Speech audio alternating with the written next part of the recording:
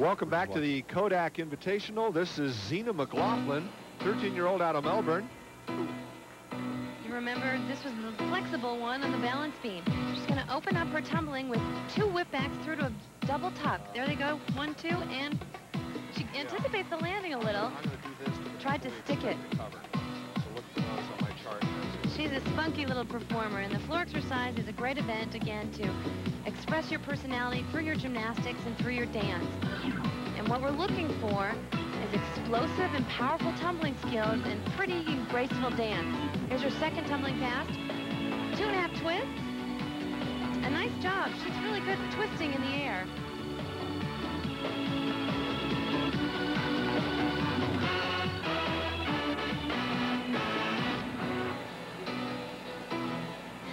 Chance to highlight your individual skills through your dance. Creative choreography and music selection are paramount on this event. She earned a 9.3 on beam, so let's see what she'll if she'll be able to top that here. And her last tumbling pass, three front handsprings into a front layout.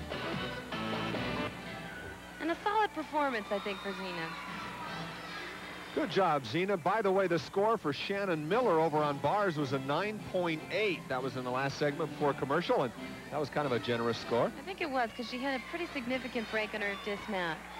And a look at her last tumbling run. Again, front tumbling. Three front handsprings in a row into an immediate front layout.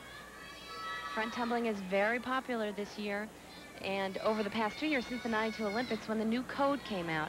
Code of points is like the gymnastics Bible. 9.5, the official mark for Zeena McLaughlin. She doesn't seem as pleased as perhaps she might be. I thought that was a pretty good routine.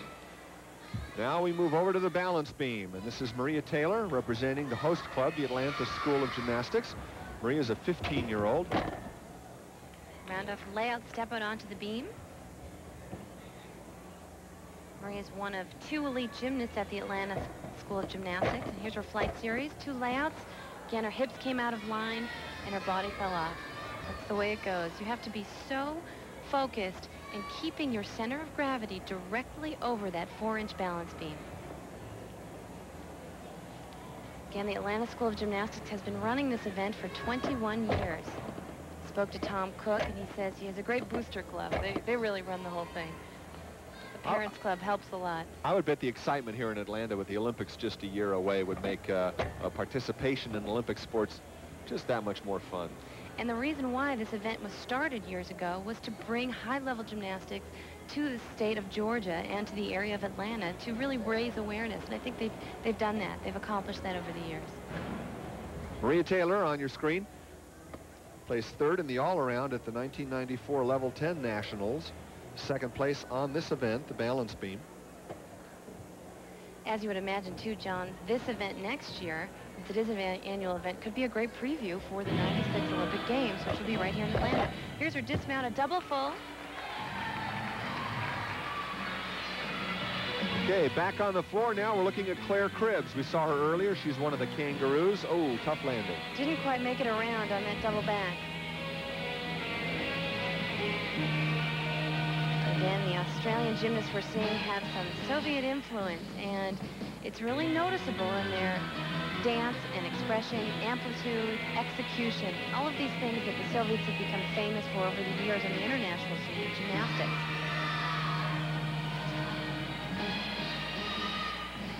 And here's a front tumbling pass. That's a Rudy. She had to put her hand down. She's having some difficulties during this exercise.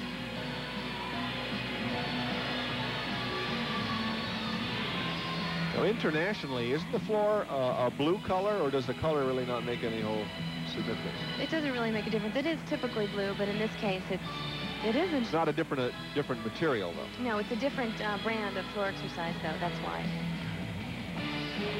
Now she's really going to need the stamina here to get through her last tumbling pass because she had some trouble on the first two. Ending with a double full to a good landing. She seems to come out of that well.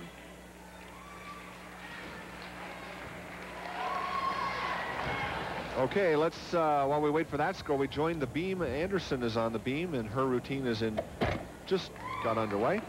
By the way, her teammate Maria Taylor on the beam in the last uh, round just scored a 9.05. Brooke is 16 years old, a junior in high school here in town. This is probably a fun meet for them because all their their friends and family can come and join them. Now, that was a flight series, but if you notice, she only had two elements in it, so she doesn't have the main major difficulty that some of the other gymnasts have. She is an elite gymnast from the state of Georgia.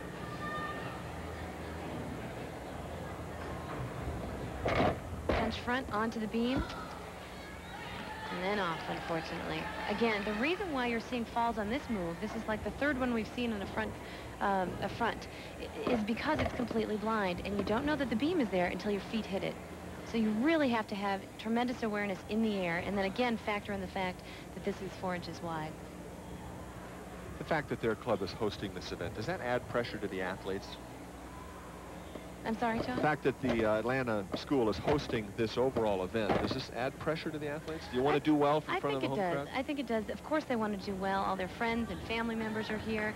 And it's really, they're representing this, this meet and the Atlanta School of Gymnastics, and I think they do. A triple full, a huge dismount. Very difficult dismount. So she jumps off the beam. We'll be back with her score. Clare Cribbes on floor earned an 8.30. Join us. We'll be right back.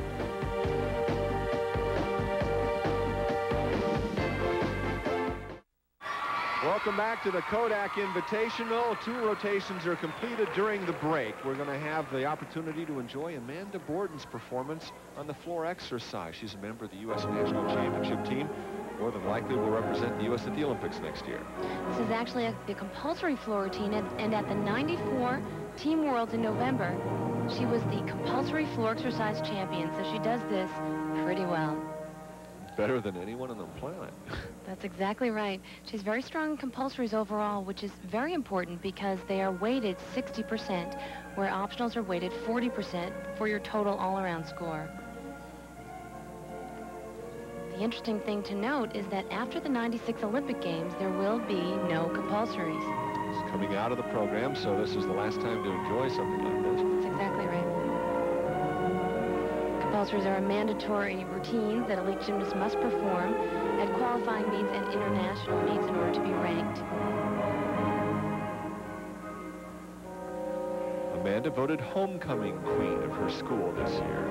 She also signed a letter of intent to attend the University of Georgia, but she's going to put it on hold for a little while while she trains for the 96 Olympics. Talking about training, she came down to Atlanta with the Cincinnati team to keep up her training with her coach, but chose not to compete the uh, competition here. That's right. She's saving herself for a lot of the big international meets that are coming up, and I think it's a wise decision. She's 17 years old, and she wants to save her body as much as she can. This is the last time tumbling pass of the compulsory routine. And there's that radiant smile that she's become so famous for. Amanda Borden, if her personality was shared across the whole U.S. team, U.S. squad and the gymnastics program would surely blossom.